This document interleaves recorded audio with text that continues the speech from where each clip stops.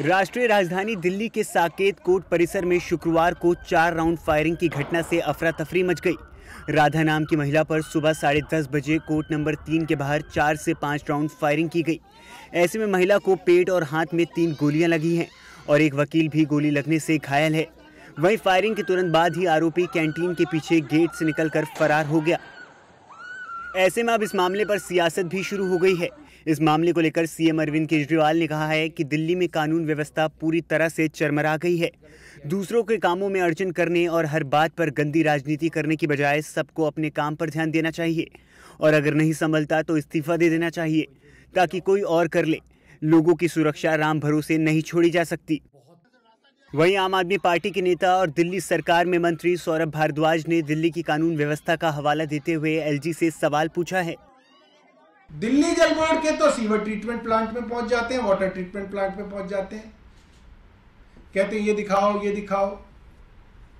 Irrigation flood के अंदर पैसा हम दे रहे हैं, उसका काम हो रहा है, उसके अंदर पहुँच जाते हैं कि ये वहाँ खड़े होकर फ़ोटो खिंचा रहे हैं। भैया, थाने में भी तो फ़ोटो खिंचाओ।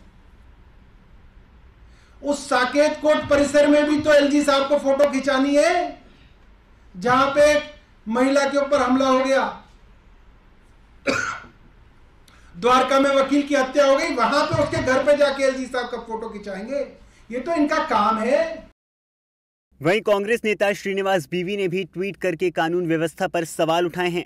उन्होंने ट्विटर पर लिखा कि, दिल्ली की एक अदालत में एक महिला को वकील की पोशाक में आए अपराधी ने सरेआम गोलियों से भून दिया। न पुलिस कहीं नज़र आई, न किसी ने अपराधी को रोकने का प्रयास किया। देश के मौजूदा लॉ एंड ऑर्डर की ये ताज़ा तस्वीर है। आपको बता दें कि महिला का आरोपी से पैसे का विवाद है। आरोपी ने महिला के खिलाफ धोखाधड़ी का केस कराया था। महिला ने पैसों को दोगुना करने के वादे से आरोपी से पैसे लिए थे। उसी मामले को लेकर ये दोनों कोर्ट आए थे। इस महिला पर धोखाधड़ी के और भी मामले चल रहे हैं। ऐसे में महिला अदालत में बयान देने के लिए पहुँची और इसी दौरान उस पर फायरिंग कर दी गई।